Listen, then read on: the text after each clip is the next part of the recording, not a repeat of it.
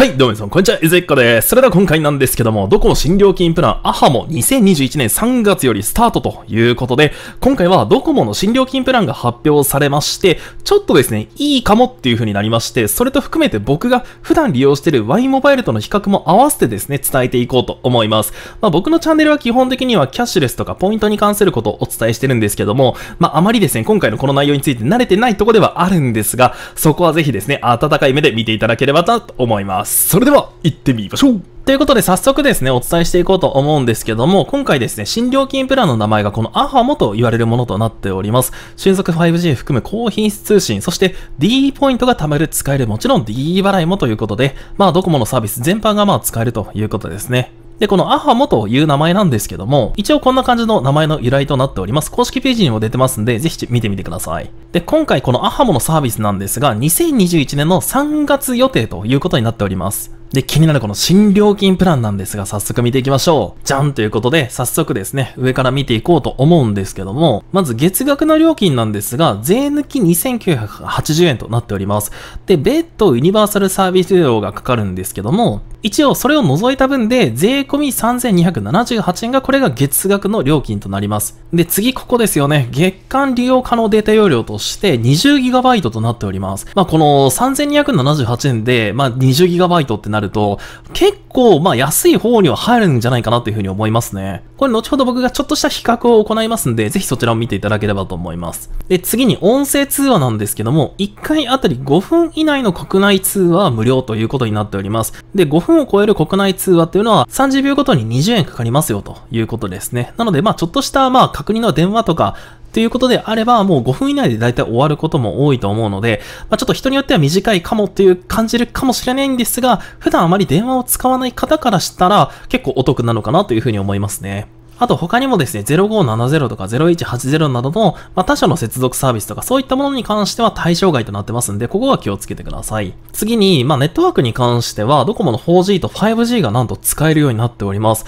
なので、まあ、今ね、まだ 5G 自体はまだ対応しているところはめちゃくちゃ少ないところではあるんですけども、この 5G がこの料金で使えるっていうのは、現時点ではかなりお得なのかなというふうにも思います。次に、利用可能データ容量の追加なんですが、これは1ギガあたり500円。これ税抜きの料金で、税込みであれば550円ということになります。なので足りなかったら一応これだけかかりますよと。そしてかけ放題のオプションもしっかりと存在しておりまして、月額税抜きで1000円で国内通話が無料でまあかけ放題ということになります。なのでざっと計算しただけでも月額の料金プラスかけ放題を合わせたとしても税込みで4370円ということになりますんで、まあまあ 20GB が使えてこの料金であれば、まあ結構お得なのかなというふうにも思います。まず事務手数料なんですけども無料とということですね。で、無料になる手数料に関しては、新規契約事務手数料と機種変更に関する手数料、そして MNP ですね。ナンバーポータビリティの転出手数料に関しても、これらも無料になると。そして、こちらはもう大体の携帯会社さんこういった感じになってるのかなと思うんですけども、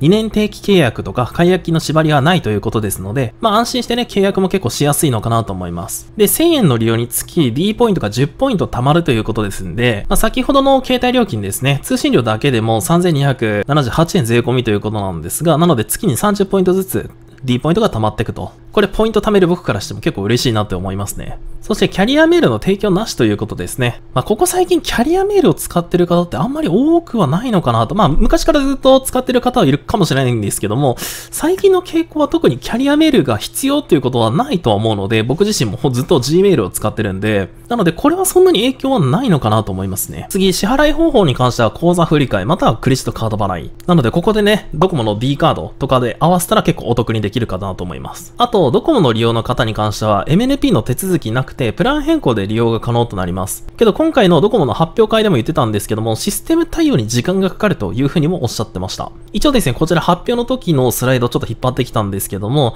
アハモンへの移行手続きについてということで、新規のご契約のお客様、もしくは他社から乗り換えのお客様に関しては、専務用のウェブサイトで簡易的な手続きを行って、新規契約とか MNP ができると。これは2021年の3月から。そして、ドコモを今ご利用中のお客様ということで、まあ、諸々の手続きに関しては、基本的には専用サイトで行うと。で、さらにそのプラン変更は2021年の5月からということで、これも簡易的な手続きが必要となるということになっております。で、あとこちらもですね、まあ、発表の時にも言ってたんですけども、対応機種については動作確認が取れ次第、専用のウェブサイトで記載がされるということになっております。なので僕は現在ですね、iPhone XS を使ってるので、まあそれがね、この AHAMO に対応するかどうかっていうところですね、チェックしたいところではあります。ちなみにですね、まあちょっと先ほどもちらっとお伝えしたんですが、受け、受付拠点ということで、まあこの契約を行うためにはオンラインのみとなってますんで、ドコモショップとかドコモのインフォメーションセンターとかで行っても対応してくれませんので、ここは気をつけてください。あくまでもオンラインで受付を行うということになっております。でですね、今回発表と同時にちょっとしたキャンペーンもありまして、まあ、ここですね、下記の3ステップすべてを完了された方に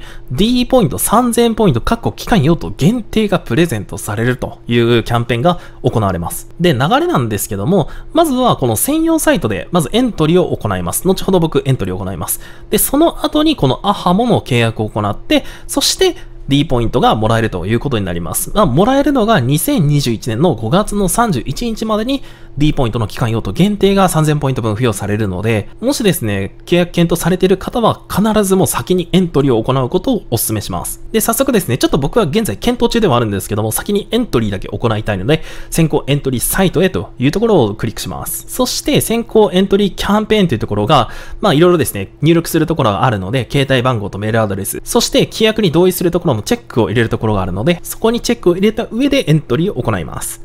そして、バッチリエントリーができまして、先行エントリー完了ということですね。なので、まあ、契約するかどうかちょっと僕も現在検討中ではあるんですけども、とりあえずこれで3000ポイント分をもらう準備はできてるということになります。でですね、ここからなんですが、僕、ゆずひこのスマホ事情ということでお伝えをしようと思います。まあ、過去の動画でもね、ちょくちょくあの、スマホ事情について固定費とかの動画でもお伝えをしたことがあるんですが、まあ、せっかくなのでこれを機にですね、まあ、料金プランの比較も踏まえてちょっとお伝えしようと思います。まず、メイン端末なんですけども、今現在は Y モバイルを使ってます。で、月にですね、現在は2612円税込みの金額を払ってます。これ6ヶ月間がですね、新規割とかもろもろ含めて2612円で払ってるんですけども、もうすぐしたらもう6ヶ月経つんで、それ以降に関しては3180円の金額になります。で、自宅で光回線の契約も行ってまして、これはソフトバンク光を引いてるんで、まあ、少しですね、Y モバイルが500円ぐらい安くなってます。で、プランが M プラン、確か M プランって名前だったんですけども、月に 10GB。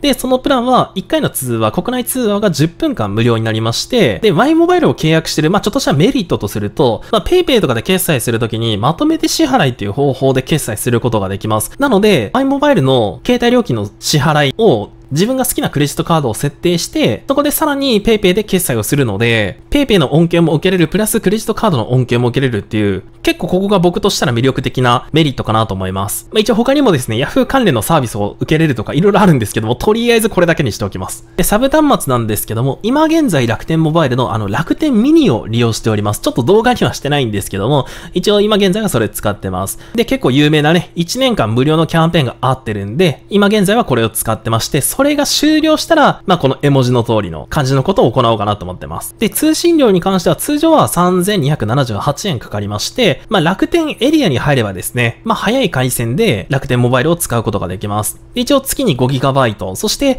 通話し放題っていう結構ここも魅力的ですよね。で、僕のこの楽天ミニですね、楽天モバイルの使い方としたら、基本的にはテザリングで使うことが多いです。なので、Y モバイルの 10GB がちょっと足りないなっていう時にテザリングを使って、残りの 5GB で補うっていうことを結構行ってます。もしくは僕、福岡県の福岡市に住んでるんですけども、楽天の専用エリアがあったりしたら、そこでね、早い回線で、特に通信量気にせず使ったりすることもできるんで、まあ、ちょっとしたカフェとかで作業するときに、パソコンでテザリングしたりとかっていう感じで使うことが多いです。これは今現在の僕の使い方ですね。メイン端末とサブ端末をこんな風に使ってると。で、今回ですね、検討中のこのアハモなんですけども、まあまあ結構魅力的なんですよね。月に3278円、これ月額の料金なんですけども、それに加えてキャンペーンで今現在はドコモの D ポイント、これ期間用途限定にはなるんですけども3000ポイントがもらえると。で、それに加えてドコモの 4G、5G にも対応してる。で、月に20ギガで1回の通話、国内通話であれば5分間無料。そして D 払いにも対応するということでしたんで、まあ Amazon でも利用ができるということになります。で、やっぱりここですよね、見ていただきたいところは料金ですよね。本当に。で、見ていただきたいのは、やっぱここなんですよね。料金なんですが、これは僕自身、この多分 Y モバイルに関しては、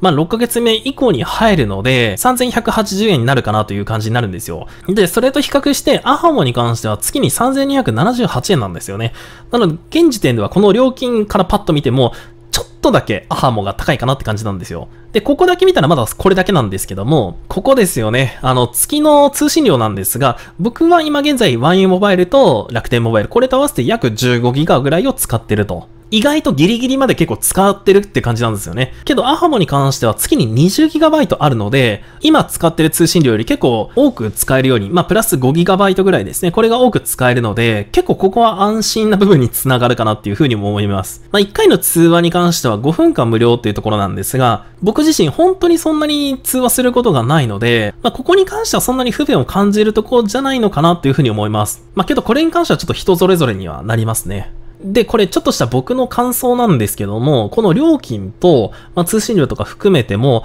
おそらく多分 Y モバイルとか UQ モバイルを使ってる方、ここら辺がもうほとんどこのアハモを使うっていうことに検討される方が多くなるのかなと思います。もちろん他のね、その格安 SIM とかを使われてる方からすると、料金も高いし、通信料そんなに使わないよっていう人も結構いらっしゃると思うんですけども、けど Y モバイルとか UQ モバイルユーザーの方に関しては、おそらくアハも検討される方はちょくちょく出てくるのかなっていうふうに今現在は思ってます。まあもしかすると僕だけかもしれないんですけども、けど今現在は正直めちゃくちゃ迷ってるとこではあります。まあですけども今回の内容を踏まえて今回ドコモがね発表したということではあるんですが、やっぱり他社も黙ってはないのかなっていうふうに思うんですよね。まあ、結局その Y モバイルとか UQ モバイルとか若干似てるような部分はあるんですけども、まあ、そこからさらにその楽天モバイルとかがどんな風に仕掛けてくるのか、まあ、黙ってそのまま居続けるのか、けど新たなこう新料金プランであったりとか何か発表してくれば、まあ、アハモに心揺らいてる僕としたらちょっと面白いなっていう風にも思います。まあ、ちょっとね、そこに関しては今後期待したとこではありますね。